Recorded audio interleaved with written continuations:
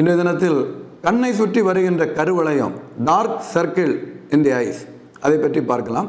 இந்த கருவளையம் வந்து அந்த கண்ணுக்கு கீழே உள்ள தோல் பகுதி புள்ளி அஞ்சு எம்எம் தடிமனில் காணப்படுகின்றது. மற்ற இடங்களில் உள்ள தோல் இருபது எம்எம் தடிமனில் காணப்படுகின்றது. ஆகவே எந்த பாதிப்பு என்றாலும் அந்த கண்ணை சுற்றி உள்ள தோலில் எளிதாக ஏற்படுகின்றது. இந்த கருவளையத்தை எவ்வாறு நீக்குவது? வாழைப்பழ தோலை எடுத்துக்கொள்ளுங்கள். பச்சை வாழைப்பழ தோலை இதை விளக்கெண்ணெயில் நன்றாக முக்கி வைத்து கண்களை நன்றாக மூடி இருபது நிமிடம் அந்த வாழைப்பழ தோலை கொண்டு நம் கண்ணிற்கு அந்த கீழே உள்ள அந்த தசை பகுதியில் மசாஜ் செய்யலாம். இரண்டாவதாக உருளைக்கிழங்கை நன்றாக அரைத்து அதில் உள்ள சாறை எடுத்து அந்த சாறை பஞ்சில் தொட்டு அந்த கண்ணுக்கு கீழே உள்ள அந்த கருவளைய பகுதியில் வைக்கலாம். இனி வந்து டீ ட்ரீ ஆயில் அந்த தேயிலை மரத்தில் இருந்து எடுக்கப்படுகின்ற எண்ணெயை அந்த கண்ணிற்கு கீழப்படு காணப்படுகின்ற அந்த கருவளையத்தை சுற்றி வைக்கலாம்.